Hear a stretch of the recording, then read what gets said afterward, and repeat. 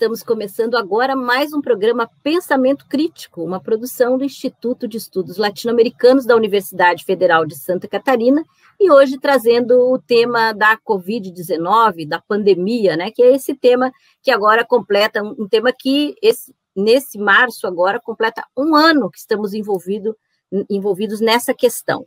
Então, para isso, nós trazemos o professor Lauro Matei, é, do Departamento de Economia da UFSC, que tem feito um, um acompanhamento sistemático dos dados, tem trazido boletins semanais sobre essa questão desde o começo, né? Então tem um trabalho já é, bem musculoso com relação ao tema, e também o professor Antônio Boing, né, que é do Departamento de Saúde Pública da UFSC também, e faz parte do Observatório Covid-19 Brasil, que é um observatório que está prestando atenção nessa questão em nível mundial, né?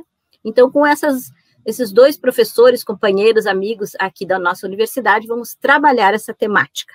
Laura, eu queria começar contigo, né? Tu, logo que começou esse processo, tu já imediatamente iniciou esse trabalho de coleta de dados e de informação e que tem é, abastecido a imprensa, enfim, todo mundo com relação aos dados, né? É, que avaliação tu fazes aí deste um ano né, de pandemia é, aqui no nosso país. É, bom, boa tarde a todos, boa tarde, Elaine, boa tarde, Antônio. É um prazer estar dividindo esse espaço contigo. É, tenho acompanhado o trabalho de vocês lá no Departamento de Saúde Pública, excelente atividades que vocês estão desenvolvendo para ajudar a esclarecer a situação. Nós estamos acompanhando semanalmente a evolução dos dados e hoje, dia 12 de é, março marca exatamente um ano atrás, no dia 12 de março de 2020, foi detectado os primeiros dois casos exatamente aqui em Florianópolis. É, nesse período, a gente vê claramente que tem os dois é, surtos muito é, específicos do, da evolução da doença. Né? É, o primeiro surto que nós é, a, a, atingimos seu auge no início de agosto, meados de agosto, começou em meados de junho e ele tem um epicentro muito forte nos meses de é, julho e também de agosto.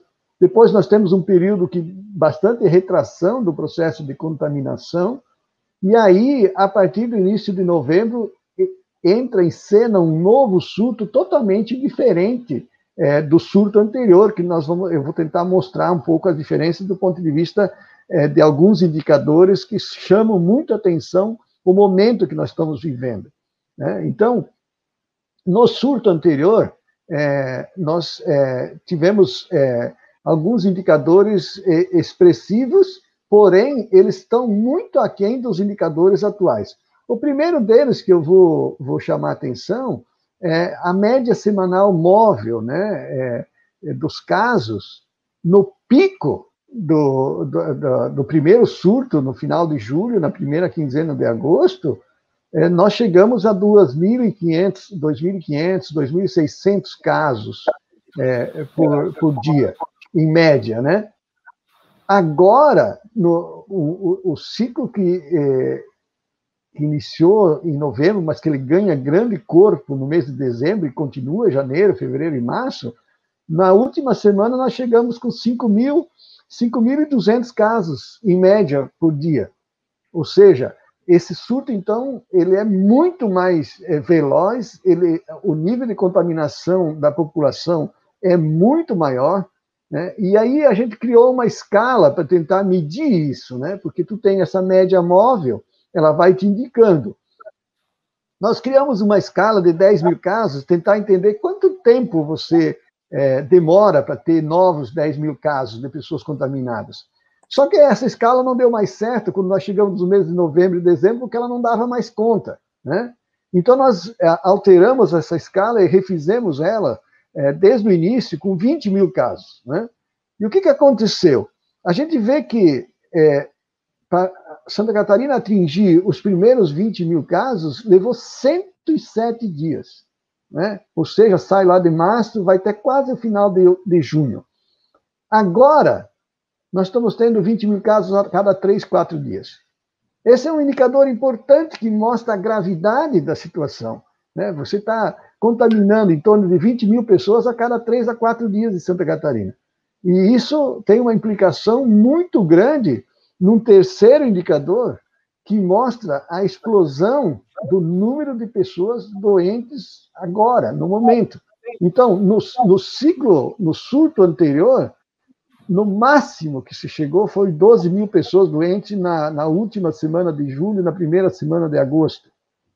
Agora nós é, fechamos essa semana com 38 mil pessoas doentes. Né? Então, dizer, a perspectiva é muito ruim, porque se 50% dessas pessoas precisarem é, atendimento hospitalar, elas não vão encontrar. Né? É impossível um sistema de saúde dar conta disso. Né? E a consequência disso a consequência de, desse, desse processo é, que eu chamei no boletim, que é o descontrole total da doença no Estado, é que o número de mortes está explodindo, né? Você sai com uma média móvel de 50 no pico máximo lá em agosto, julho e agosto, e atingiu 105 em média essa última semana, né? E mais do que isso, né? Você tem uma concentração muito grande é, nos 12 meses, se a gente pegar o, os quatro últimos meses, janeiro, é, novembro, dezembro, janeiro e fevereiro, eles representam 62% dos casos e 65% dos óbitos. Isso indica que o quê? Que esse é, é o período terrível desse surto que nós estamos enfrentando. E ele está assim por quê? Porque cada vez mais não tem controle nenhum. Né? É, os controles estão totalmente flexíveis e não conseguem dar conta. Então, nós entramos num cenário totalmente é, dramático, né? E acho que essas primeiras semanas, né? É, veja bem, do dia 1 ao dia 11 de março, que são os dados que nós temos aqui, morreram 1.019 pessoas. Sete meses da pandemia nunca atingiu isso. Em 11 dias, né, nós não tivemos nem um mês com mais de mil. Dos 12 meses, só quatro meses tiveram mortes acima de mil.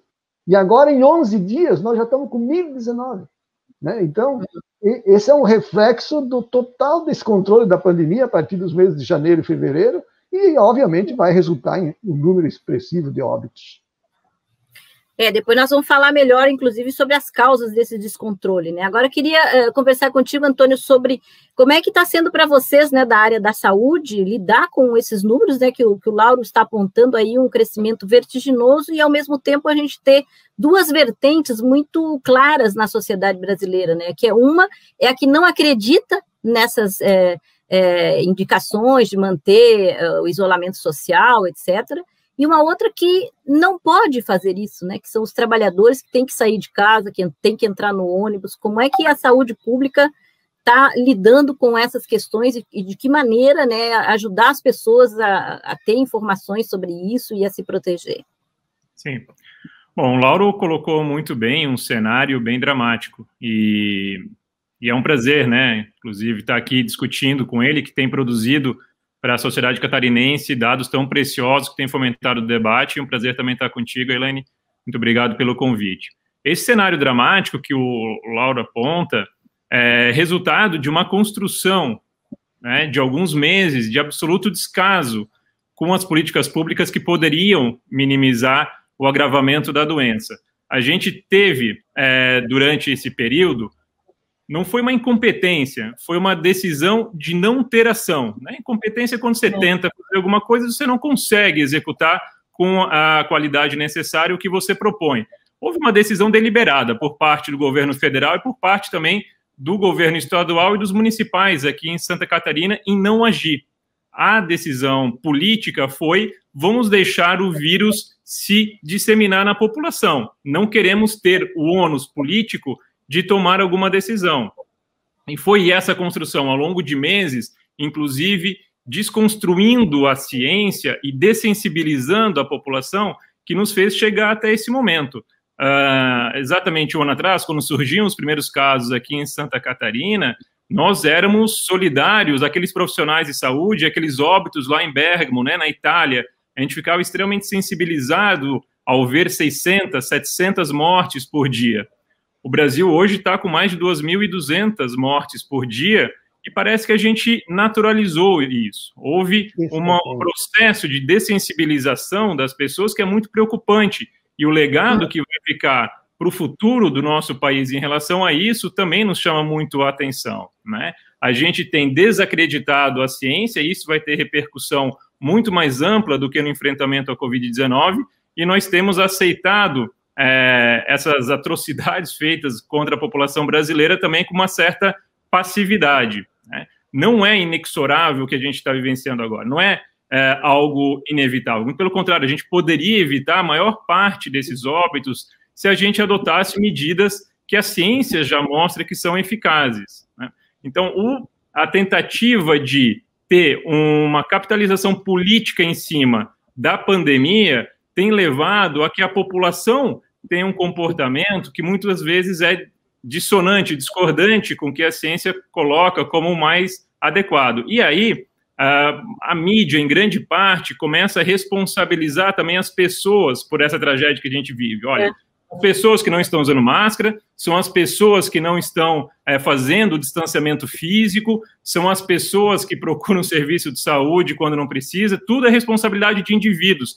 E a gente não vai na raiz do problema, que é uma, um conjunto de lideranças políticas que não fazem uma boa comunicação com a população, que não apresentam com franqueza, com clareza, qual é a gravidade do momento, quais são as ações que deveriam ser tomadas e tampouco viabiliza a possibilidade econômica de se implementar as ações que são necessárias, em particular agora com uma necessidade de fazer uma restrição maior de circulação de pessoas e fechamento de comércio não essencial, o governo tem que é, colocar dinheiro para viabilizar isso para os trabalhadores, tem que colocar isso também como, é, por exemplo, linhas de crédito para os setores mais afetados da economia. E o governo boicota essa ação. Então, a partir do momento que você tem o, o líder máximo do Executivo Federal, né, que é, ridiculariza quem usa máscara, você tem o ministro da Saúde que estoca cloroquina, um medicamento que não tem eficácia, quando você tem um conjunto grande de profissionais de saúde, em particular médicos, receitando medicamentos ineficazes,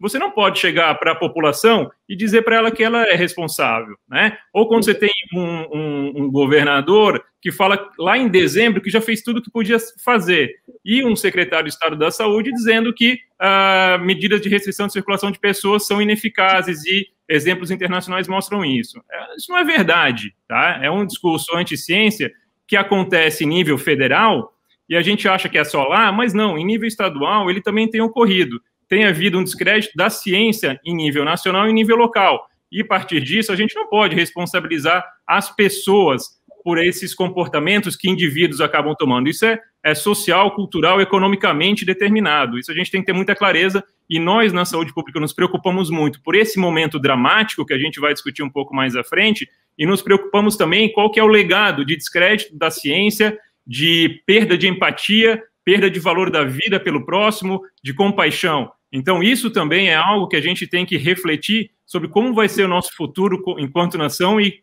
quais valores a gente vai é, levar adiante para as próximas gerações. É, e a população fica num estado meio esquizofrênico, porque um diz uma coisa, outro diz outra, o governo diz que não é para usar máscara, outro diz que é, então realmente colocar a culpa na população é definitivamente a que, o lance mais perverso, né, que a gente tem visto aí dessa questão é, da pandemia. Mas a gente vai encerrando agora esse primeiro bloco, já voltamos, segura aí.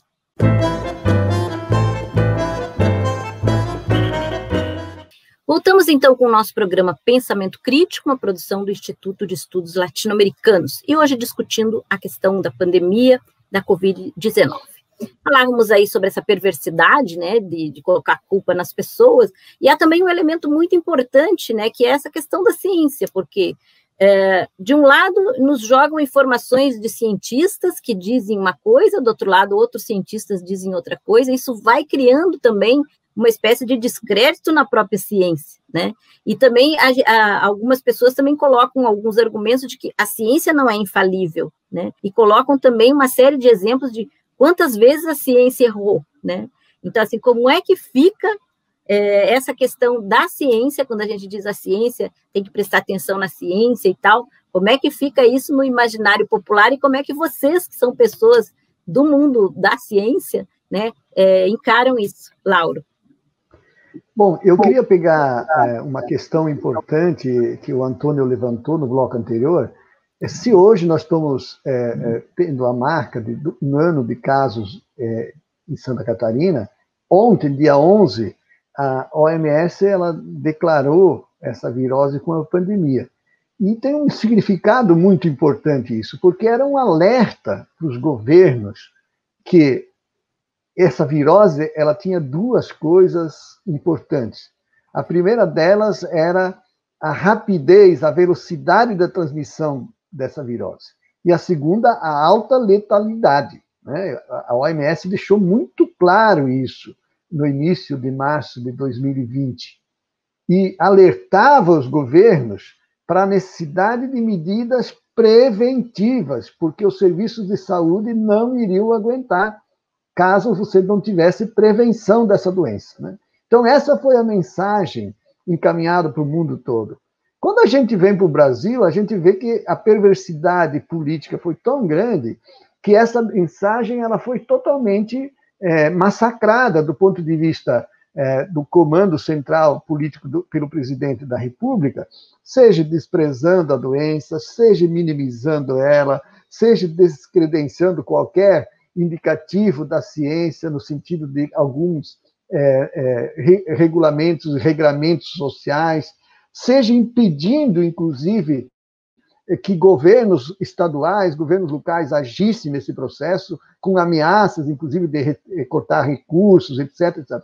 Ou seja, nós tivemos a pior condição possível no alerta que a OMS fez. Mas eu quero trazer isso para Santa Catarina também, porque o Antônio deixou um gancho aqui, né? Que eu acho que, no primeiro momento, se parecia que o governo de Santa Catarina, e ele inclusive dizia isso, né, que ele estava seguindo a ciência, que ele estava fazendo o que a ciência recomendava. Né? Mas ele só fez isso durante duas semanas, porque na terceira semana, é, no início de abril, ele já começou a flexibilizar as regras é, preventivas de isolamento social e de restrição de circulação para evitar que o vírus circulasse. E daí para frente, tudo que se fez em Santa Catarina é, na verdade, falando em nome das ciências, mas negando elementos fundamentais da ciência. Por exemplo, até hoje, o secretário estadual de saúde nega a, a necessidade de você fazer restrições mais drásticas para combater a virose. E aí tem, o, na minha é, opinião, o grande equívoco da política de controle da doença em Santa Catarina, e é que se voltou tudo para as atividades curativas. Então, dá um surto, vamos ver quantos leitos de UTI nós conseguimos fazer. E não se faz nada no sentido de evitar que as pessoas cheguem nos hospitais. Eu tenho dito isso diretamente. Nós, a única forma de nós controlar essa pandemia é evitar que as pessoas cheguem nos hospitais, porque a gente sabe que uma pandemia em descontrole não vai nem aqui em lugar nenhum do mundo ter hospital para todo mundo. Né? E aí, a, a, o que tem por trás do governo de Santa Catarina, em grande medida, é o mesmo negacionismo que está no governo federal. Por quê? Sucumbido aos interesses econômicos, desde o início de março, ele transfere para os municípios a responsabilidade, a partir dos meses de junho e julho, regra alguns é, setores e desregras na pior hora possível. E nesse aspecto, eu acho que vale a pena a gente rememorar o que, que se fez em dezembro de 2019, em 2020. Porque o que, que se fez em dezembro de 2020 nós estamos vivendo. Esse filme que nós estamos vivendo hoje, com a judicialização novamente por parte do Ministério Público, dos órgãos de controle, em relação ao controle da pandemia, também aconteceu lá em, outubro, em dezembro. Quando o governo fez aquele decreto no dia 18 de é, dezembro, liberalizou tudo para salvar a temporada de verão sobre os interesses das cadeias de, econômicas vinculadas a esses setores e tal, atendendo isso. E isso está claro no dia seguinte, quando o governo toma essas atitudes totalmente contrárias ao que a ciência estava indicando naquele momento já, as notas de apoio ao governo do Estado de todas essas federações empresariais nos principais jornais de Santa Catarina. E a gente alertava naquele momento que o resultado daquela decisão o preço disso nós iríamos pagar nos meses seguintes, e é exatamente o que está acontecendo agora. Né? Então, ali eu acho que tem uma mensagem muito clara do governador que tem muita conexão com a política do Bolsonaro no país.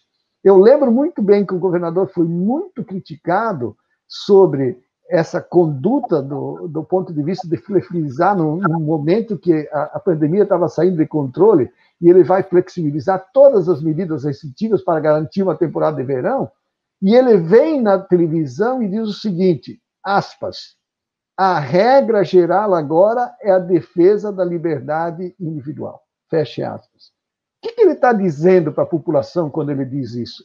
Cada um faça o que quiser. E nós vamos ver leitos de UTI. Né? E, portanto, é, naquilo que o Antônio está falando, você tem uma mensagem do governo do Estado para a população dizendo o seguinte: cada um vai fazer o que, que ele entende por liberdade individual. Né? E essa mensagem, junto com as medidas, eu acho que está no cerne da questão do que aconteceu depois. Porque quando você vai no mês de janeiro, aí você vê um certo relaxamento geral, né? E isso, então, é, é, potencializa enormemente esse surto que nós estamos vivendo hoje. E mostra também o quanto que qualquer mente minimamente aguçada já sabia que ia dar nisso que deu, né? Mas, Antônio, queria que tu comentasse um pouco dessa questão, né, da, dessa imagem que fica da ciência para a população, porque a gente tem visto nesses grupos é, mais ligados ao presidente Bolsonaro como há um ataque sistemático à ciência, né? O que, que, que repercussão isso pode ter é, para o futuro, como tu já colocaste aqui? Sim, é, em primeiro lugar, apesar do grande peso político que essas pessoas, esses grupos têm, a gente tem que entender que é uma, uma minoria. Tá? E o que a gente tem que conseguir fazer é levar a mensagem dessa, desses valores mais humanos e de valorização também da ciência para o máximo de pessoas da população, entendendo que, apesar do barulho, da violência é, executada por parte dessa minoria, uh, ainda assim é um, é um, pequeno grupo, né? Então a gente tem que conseguir fortalecer um ao outro e fazer a disseminação da boa informação. É, além da ciência, eu queria destacar também que uma outra vítima é o multilateralismo. Né? Então há uma tentativa de desvalorizar a, a Organização Mundial da Saúde, a Organização Pan-Americana de Saúde, o esforço entre países também. Então, o próprio Estados Unidos com a decisão do governo anterior em se retirar da OMS, é, o Brasil fez ameaças semelhantes. Então, é, o multilateralismo tem sido atacado. E quanto à ciência, o que a gente enxerga é que ela não se adequou ao discurso político de um determinado grupo e passou a ser atacada. Uh, isso, o ataque mais frontal é de agora, um ataque mais uh, menos evidente já vem há algum tempo com o desfinanciamento de pesquisas, né? Então, a gente teve uma boa capacidade de resposta por termos um grande sistema único de saúde, mas nós poderíamos estar muito além se tivéssemos um financiamento mais adequado do próprio SUS e também da ciência brasileira. E cabe destacar que nós temos vacina nesse momento, graças a dois grandes laboratórios públicos, que são o Butantan e a Fiocruz. É isso que tem nos permitido, nesse momento, fazer o início da vacinação e é, é, é de onde vão sair as doses que majoritariamente vão vacinar os brasileiros ao longo aí dos próximos meses e dos próximos anos também. Quanto a, ao ataque à ciência, a gente viu que lá no começo houve uma preocupação em seguir o que já vinha de experiência dos outros países ali de janeiro, fevereiro de 2020, né? Então a gente fez ali em 19 de março, a partir de 19 de março, sobretudo de 2020, o fechamento de setores não essenciais do nosso comércio, houve uma orientação clara dos governos estaduais, de muitos governos estaduais e municipais, para ficar em casa se fosse possível, e a gente conseguiu ter bons indicadores, um bom controle da disseminação do vírus naquele momento. O que aconteceu depois foi uma grande pressão, então, de setores políticos e setores econômicos para o relaxamento dessa é, ação, e esse relaxamento aconteceu de forma muito errada, muito desorganizada. A gente analisou os decretos municipais do é, prefeito aqui de Florianópolis cada um deles ali ao longo de abril, maio, junho, julho, e como é que era a situação epidemiológica do momento em que o decreto municipal relacionado à Covid-19 era editado. E a gente observou que, sobretudo a partir de maio, existia uma grande dissonância do decreto com a situação epidemiológica. O que, que significa isso? O decreto ia liberando, liberando, liberando novos setores ou aumentando capacidade de lotação de alguns locais, enquanto o cenário epidemiológico demonstrava um recrudescimento da pandemia ali já em, em maio, né? Um crescimento da disseminação do vírus. Então a gente foi colocando mais gasolina na fogueira. Em vez de a gente fazer um planejamento adequado de saída daquele semi-lockdown lá, a gente é, não, a gente foi abrindo tudo muito de forma indiscriminada, sem monitoramento. Isso levou aquele pico de julho. Bom, aí o governo começou a dizer: olha, não, a ciência mostra, e os estudos mostravam mesmo, que a gente tem que fazer uma boa vigilância epidemiológica, né? Fazer aquela história de diagnosticar os casos, isolar os casos, identificar quem são os contatos, uhum. para fazer a quarentena dos contatos, é isso que vai resolver. Também foi feito de maneira muito ruim. Uh, a gente tem em Florianópolis, por exemplo, no início desse ano, que 1,9% dos casos de Covid-19 é possível se fazer o rastreamento de onde foi feito o contato. A OMS coloca que o ideal seria 80%. Esse rastreamento isolamento do caso deve acontecer em até 72 horas, tá? em pelo menos 80% dos casos. Florianópolis faz em 0,6%, 0,7%, 0,8%. Então, a, a ciência foi mostrando as evidências e os governos não foram aceitando, né? E isso tem uma repercussão agora nessa explosão de casos. Depois que esse negócio do, da vigilância não funcionou, eles partiram para os leitos.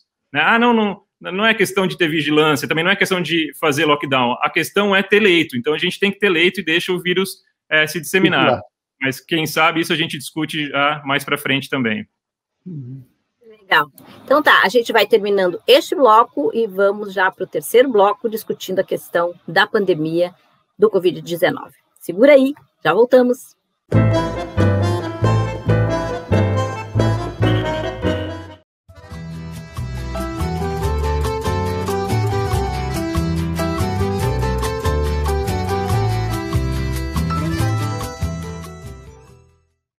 Pancho Villa. Trabalhador errante e ex-bandoleiro, Dorotel Arango Arambula foi um dos mais importantes líderes da Revolução Mexicana de 1910, junto com Emiliano Zapata. Assumindo o nome de Pancho Villa, ficou conhecido também como Leão do Norte, liderando suas tropas em todos os combates. Com Zapata, que marchou com a gente do Sul, Pancho Villa entrou na cidade do México, garantindo a vitória dos mexicanos nessa generosa revolução popular. Foi assassinado depois, quando a elite do país assumiu o comando do governo, crivado com 47 balas em uma emboscada.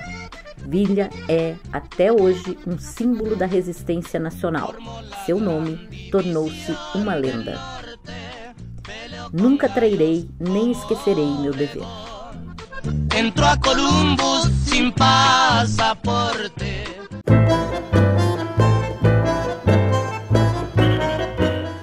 Voltamos então com o nosso programa Pensamento Crítico, uma produção aqui do Instituto de Estudos Latino-Americanos da Universidade Federal de Santa Catarina. E hoje trabalhando a questão da Covid-19. E falávamos aí sobre toda essa problemática envolvendo as decisões equivocadas dos governos, né? E também e queria colocar para vocês a seguinte questão: a população eh, desassistida, como diria a Ângela, ela já está muito acostumada a ser colocada de lado. Então, na verdade, eu acho que a maioria da população também não é burra, eles sabem que uh, estão abandonados, né? E por isso talvez eh, circulem por aí, não levem muito em consideração esse cuidado, né, com, com essas o isolamento social, a máscara, etc. E também porque estão vendo ao longo desse processo da epidemia, da, da epidemia um grupo muito pequeno de pessoas enriquecendo por conta da epidemia. Né? Nós temos visto aí é, milionários do tipo dono da Amazon, etc., Facebook, e esse pessoal está ganhando muito dinheiro por conta disso. As pessoas não são burras, né? Eu acho que isso também ajuda um pouco é, nesse processo de descaso, Lauro. Veja bem, eu acho que tem um ponto de partida aqui, que eu estava explorando outro dia num outro debate, que esse negacionismo da ciência, da, do conhecimento e tal, ele também ajudou, no nosso caso em particular, a criar um, uma falsa dicotomia entre saúde e economia, mas que foi uma falsa dicotomia pensada, né, do ponto de vista de, de se nós olharmos, e eu acompanhei um pouco mais isso, né, a estratégia que precisaria ser seguida nesse processo de caminhar as medidas sanitárias com medidas de apoio econômico elas foram totalmente distorcidas, né? E se a gente olha, então, nesse, nessa perspectiva do ponto de vista de você ver dois horizontes, é, o econômico e o social, a desconexão é total em relação às medidas sanitárias, né? Então, no primeiro momento, o governo prometeu mundos e fundos econômicos, financiamentos, e nada aconteceu. Mas essa, essa ideia, me parece que ela foi até pensada, até porque o Paulo Guedes combinando isso, ele sempre combinava essas coisas com os investidores financeiros das bolsas dos valores, e os programas, de fato, para ajudar os setores empresariais que, de fato, precisavam ser ajudados, sobretudo a partir de medidas restritivas que eles sofreriam muito impacto, eles praticamente não existiram. O único programa que chegou um pouquinho foi o Pronamp, que foi um programa formulado no Congresso Nacional, não foi nem do Ministério da Economia. E o Ministério da Economia jogou um conjunto de crédito na, na, na esfera é, financeira e, e, que depois, agora estão saindo os dados, a gente vai ver que quem, quem pegou esse dinheiro era quem menos precisava, as médias e grandes empresas e multinacionais, e que vem muito na linha do que a Elaine está falando, de que esses caras ganharam muito dinheiro, porque eles pegaram é, financiamentos a preços, juros baixíssimos, é, para manter emprego, e que, na verdade, é um exemplo, é só pegar o que, que os bancos, o Itaú e o, e o Bradesco fizeram durante a pandemia. Eles demitiram horrores de pessoas. E com isso, então, o sistema financeiro, além de não ajudar do ponto de vista de disponibilizar crédito para a economia, sobretudo para as micro, pequenas e médias empresas, ele acabou também gerando desemprego. Né? Então, tem uma, uma lógica perversa nessa política que perpassa a questão apenas sanitária, mas que ela está articulada com aquilo que deveria ser o complemento e não a falsa dicotomia entre. Quer dizer, devia vir medidas econômicas para sustentar as medidas sanitárias. E se fez o contrário. E, ao mesmo tempo, deveriam vir medidas sociais para sustentar os impactos, sobretudo para as populações vulneráveis. E só fomos ter um, um, um programa de auxílio graças ao Congresso Nacional, porque o programa do auxílio proposto inicialmente pelo governo era uma piada. E, na verdade, era algo para não se fazer. E havia sempre uma resistência é, da política, é, do núcleo duro da política econômica do governo federal, porque eu lembro muito bem é, de uma reunião onde que o presidente do, é, do Banco Central falou o seguinte: nós vamos criar um monstrinho, fazendo essa política social que estão pedindo aí, nós vamos criar um monstrinho que depois nós não vamos conseguir se desfazer. Então, quando uma autoridade dessas, qual é o olhar que ele tem para a questão é, é, emergencial, social, que estava conectada com a pandemia? Né? E isso, então, reflete que há uma lógica do governo como um todo que, além de não atender e se preocupar com o ponto central, que era o controle da pandemia, ele fez um descaso total sobre as outras esferas que precisavam caminhar juntas, sobretudo a esfera econômica e a esfera social. E só tivemos o programa de, de emergencial porque o Congresso fez. E fez numa perspectiva muito aquém daquilo que o governo tinha proposto. E o governo, quando pôde, ele cortou imediatamente, né? E agora, então, novamente, parece que vai se aprovar uma nova medida e tal. E isso trouxe uma coisa gravíssima, porque a quantidade, a CEPAL acabou de lançar os dados de 2020 da pobreza na América Latina, e o Brasil está puxando de novo a pobreza para os níveis altíssimos. Né? Então, essa é uma consequência é, que tem a ver com a pandemia, mas que tem a ver com aquilo que o governo leu a pandemia, né? a mensagem que o governo incorporou. Nós estávamos aqui discutindo mais fortemente as ações mais concretas da pandemia, mas ações que precisavam ser complementares, elas foram muito mais dramáticas e muito mais é, terríveis do ponto de vista das consequências econômicas e sociais que nós vamos ver. Só para dar um exemplo para concluir, o programa de manter o emprego, nós acabamos de analisar no, é, no, no ECAT, o governo o tempo todo falou que manteve 9 milhões de empregos. Agora saíram os dados e a gente foi ver. Ele tirou, uma, ele tirou quase 20% da massa de renda da sociedade, esse programa. que é um caos, porque a, é, tu tira 20% da massa de rendimento da economia, a economia vai para o buraco. Né? Então, eu só estou levantando os dados para mostrar a falta de uma engrenagem do ponto de vista de a necessidade de ter sido articulado os elementos sanitários de controle da pandemia com a estrutura econômica e a estrutura social do país. E isso foi um desastre total, e as consequências vão ser dramáticas para o futuro. É, isso mostra claramente também o que é o sistema capitalista de produção, né? Que ele prescinde das pessoas, né? Se morrer 20% da população, pouco se lhe dá. É, Boing, eu queria que tu falasse um pouco agora sobre essa questão da vacina, né? Que também está começando de novo novas polêmicas, toma vacina, não toma vacina, vacina faz, mata, não sei o que lá, e ao mesmo tempo também a própria questão de por que motivo, diante de uma pandemia, dos níveis que nós estamos vivendo, esse, essas fórmulas de vacina elas não são abertas, livres, né? Porque o volume de, de recursos que está indo também para esses laboratórios que estão produzindo as vacinas deve ser também extraordinário, né? Quando elas deveriam ser, enfim, controladas e, e distribuídas para a humanidade como um bem comum. Claro, uh, só deixa eu aproveitar um ganchinho ali da fala, grande fala ali do Lauro, é, essas pessoas, assim, grupamentos, sindicatos, patronais aí que têm lutado e pressionado fortemente o governo e até mesmo aqui em nível local, é, quase que impedindo ele que tome alguma iniciativa, eles também não têm se baseado na ciência, né?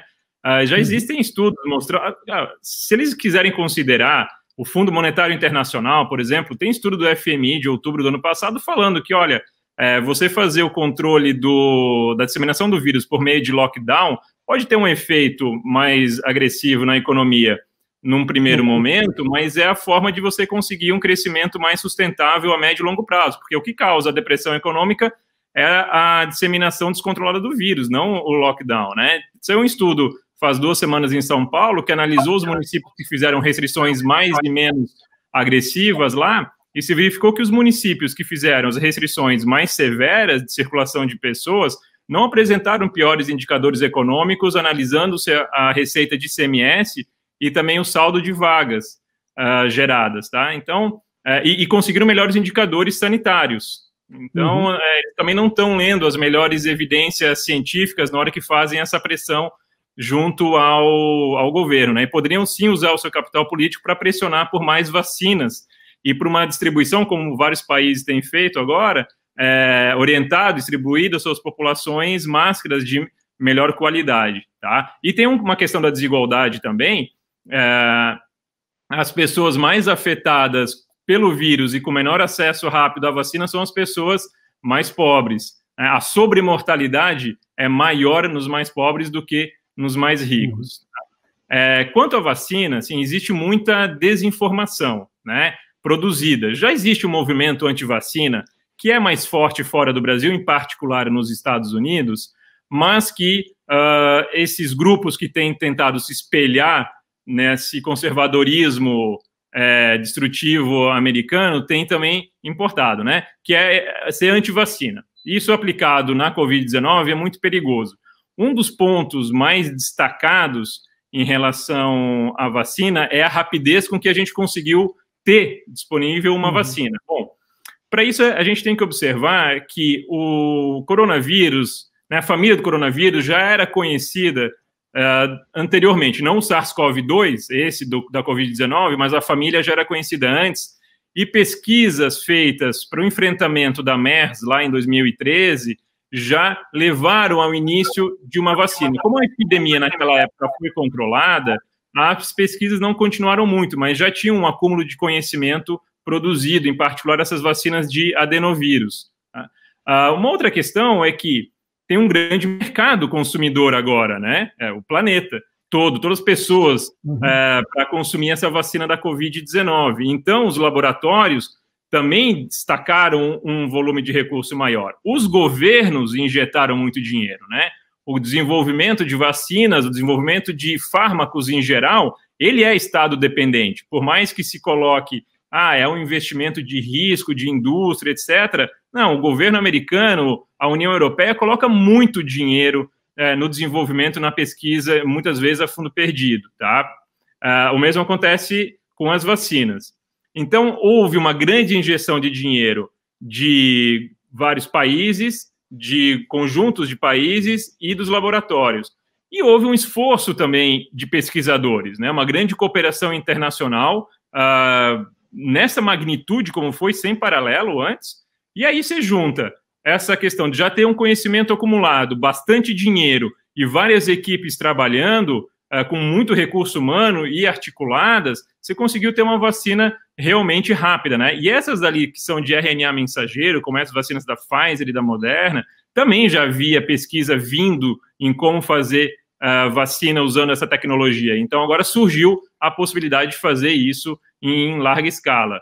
Tá? Então se gera uma desinformação em relação à vacina que a gente espera que não prospere tanto no Brasil. A gente teve uma grande preocupação lá é, no ano passado, em setembro, outubro, novembro, de como que a população ia se comportar em relação à vacina.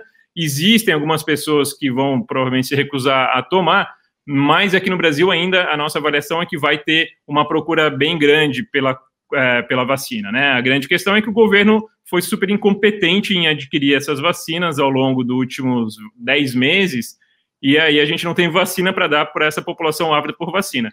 E quanto ao acesso, essa é uma grande questão, né?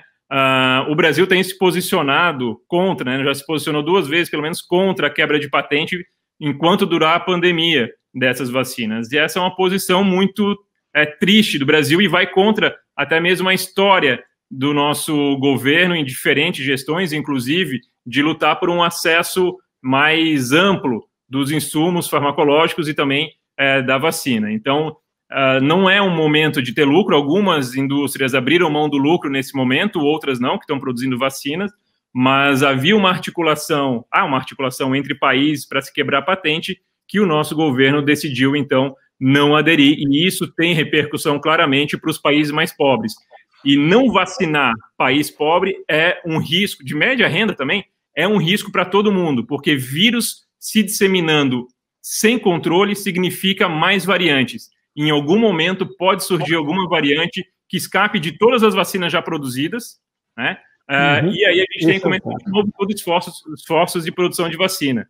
Então, que é, ainda que não tenha um altruísmo autêntico dos mais ricos, deveria ter essa inteligência de perceber que você fazer uma distribuição e um acesso justo, equânime, para as populações e para os países mais pobres também vai beneficiar esses que estão tendo acesso à vacina agora.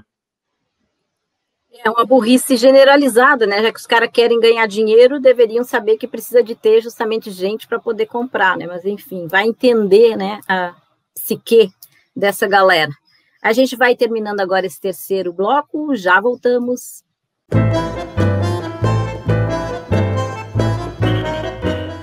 Voltamos então com o nosso programa Pensamento Crítico, hoje falando sobre a Covid-19, a pandemia, né, que toma conta aí é, do nosso planeta Terra e que aqui no Brasil estamos vivendo provavelmente a pior gestão de todas. Falávamos agora há pouco da questão das vacinas, a quebra de patentes. É importante trazer informação sobre Cuba, né, que é uma pequena ilha perdida no Caribe, socialista, né, que já está na sua quinta vacina, né, já tem quatro vacinas em, em andamento bem profundo já, e uma, uma praticamente já sendo quase colocada à disposição da população é, a Soberana 1 e a Soberana 2, e deverá começar a vacinação provavelmente no final de março, segundo as informações que chegam da ilha. E também há em Cuba o desejo de, em é, essa vacina dando certo, sendo eficaz, de haver a quebra da patente, ou seja, Cuba ceder né, a patente dessa vacina para os países mais pobres. Então, isso mostra também é, a diferença né, da visão entre um pensamento socialista e o capitalismo selvagem. Né?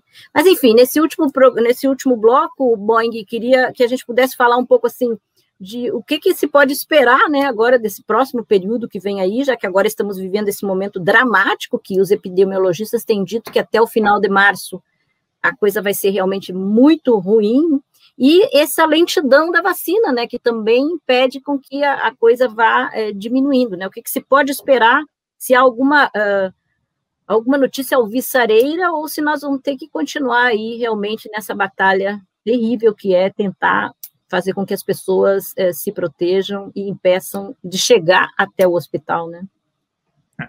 Olha, nós estamos muito preocupados com o futuro, tá? Futuro tanto a curto quanto a médio e longo prazo. Uh, em primeiro lugar, o, esse ambiente descontrolado, e é algo que eu estava falando ali no último bloco, né? De descontrole da disseminação do vírus, vai levar com que haja o surgimento de novas variantes, tá? É possível que isso aconteça. Então, quanto mais o vírus se dissemina, mais ele se reproduz, aumentam as chances dele ter alguma apresentação de alguma variante que pode ser boa para ele, pode não ser boa para ele. Eventualmente, quando for boa para ele e ruim para nós, tende a essa variante a assumir uma importância grande de contaminação, em particular se ela for, então, mais infecciosa e eventualmente mais é, letal. Então, a gente já tem aqui em Santa Catarina, tá? É, duas em cada três amostras analisadas agora pela Fiocruz já indicaram que se tratava de uma variante de preocupação, que se chama VOC, variante de preocupação, na sigla em inglês. É, e essas variantes de preocupação são preocupantes exatamente porque elas têm uma capacidade maior de disseminação. Uh, ainda estão acontecendo os estudos para avaliar a sua letalidade. Saiu agora há pouco tempo no Lancet mostrando que uma delas parece ter uma letalidade maior também, o que nos preocupa muito. Tá? Então, a gente tem um, um terreno fértil aqui no país, e em Santa Catarina também, de produção de variantes. E isso é muito preocupante. Tá? Adiciona-se a isso a falta de ação.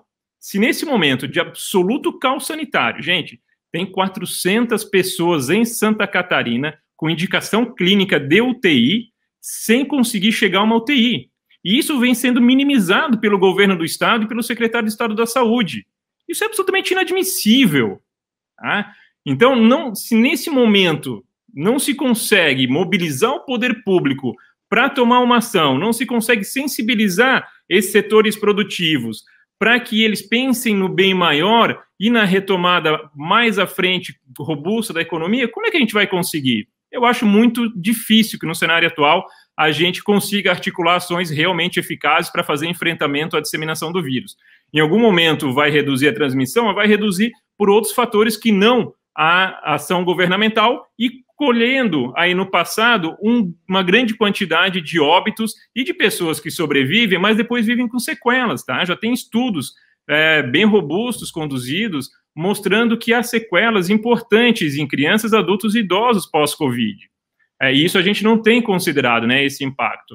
Uh, e quanto à vacinação, nós pagamos o preço agora de ter um governo que é, ignorou a vacina, que foi incompetente em fazer negócio, que não quis fazer negócio, que desprezou a compra é, em tempo oportuno e agora começa a correr atrás com bastante atraso. E a gente tem também os municípios e estados que não fizeram sua pressão política em cima de quem, pelo Programa Nacional de Imunizações, tem a responsabilidade de adquirir vacina, que é o governo federal. Então a gente está muito lento na vacinação. A gente deve começar a ganhar escala ali em abril, maio, quando começarem a ser entregues mais doses da Fiocruz e também do Butantan. Então, a gente deve ter uma aceleração de vacinação para abril, maio. Agora, nos preocupa a, a competência que está tendo dos estados e dos municípios em realizar essa vacinação.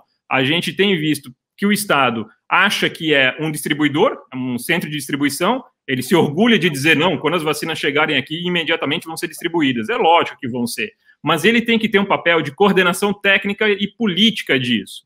Ele tem que conversar junto com os gestores municipais, que são os responsáveis pela aplicação da vacina, e, e definir metas. Olha, quanto que a gente planeja de vacinar na primeira semana, nos primeiros 10 dias, 15 dias? Se a gente estiver abaixo da meta, o que, que vamos fazer? Qual vai ser a nossa sala de situação? Quando é que acende o sinal amarelo para a gente voltar aqui para discutir em outra estratégia? A gente teve dificuldade em vacinar agora profissionais de saúde, idosos institucionalizados, que a, a, vacina praticamente ia até eles, né, no, local de trabalho ou onde eles residiam. Agora a gente está começando a vacinar idosos e daqui a pouco a gente vai para adultos com morbidades também, vai aumentar um monte o contingente de pessoas. Qual vai ser a nossa capacidade de vacinação?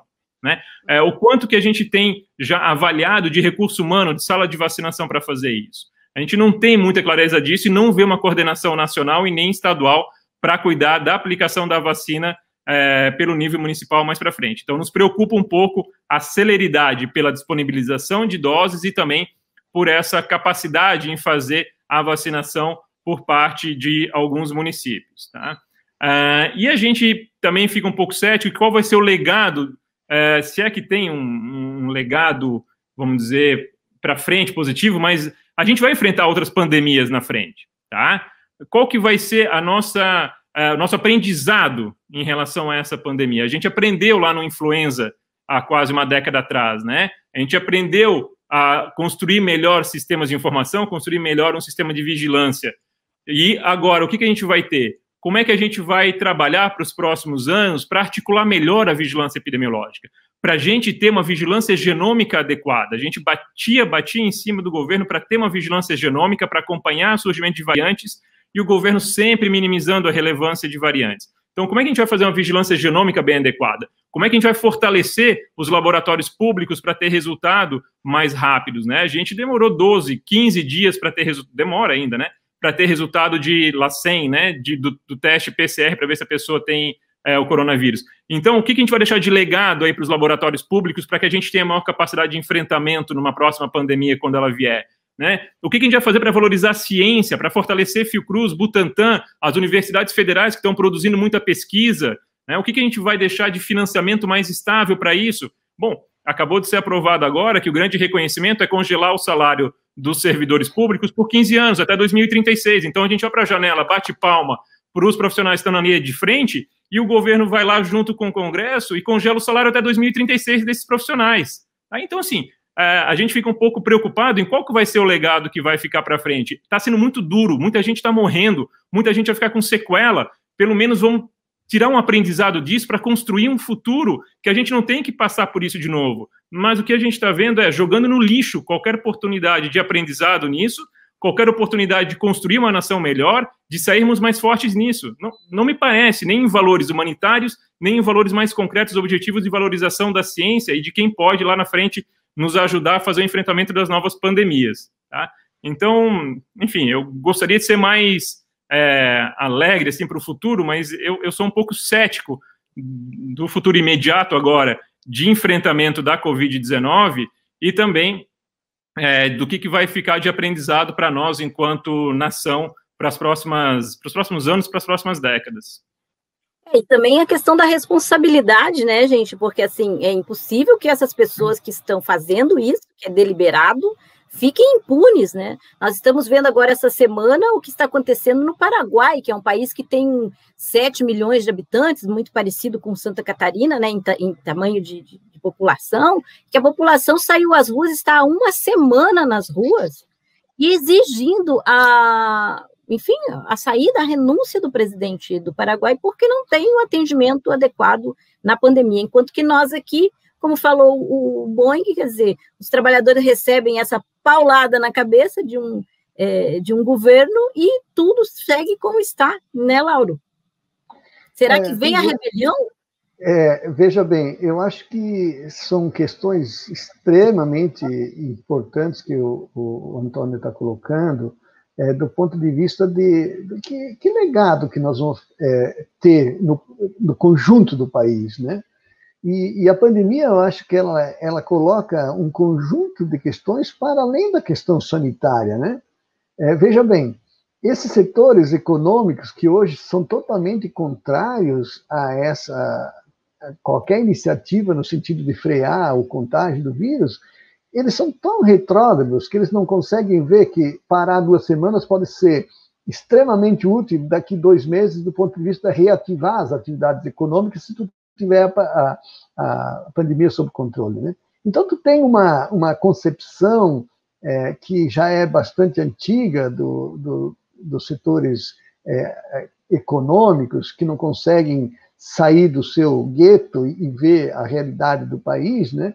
E com isso é, você tem uma lógica extremamente perversa, e, e eu me preocupo muito do, do, ponto de vista de olhar a macro política, né, que envolve todos esses pontos que o Antônio levantou. Claro que nós estamos no meio de uma, uma pandemia e a prioridade é controlar a pandemia, mas nós vamos ter consequências para muito além de problemas específicos restritos à área de saúde.